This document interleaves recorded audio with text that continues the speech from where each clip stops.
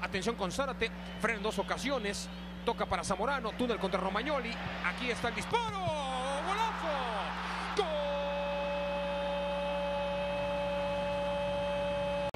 de Monarcas, se juntaron los chavitos, llegó Aguirre, dice pues ahí te voy, y de campana, descuenta los 65 minutos el conjunto Michoacán, túnel contra Romagnoli luego de una buena triangulación, por lo menos de tres o cuatro pelotas eh, hiladas.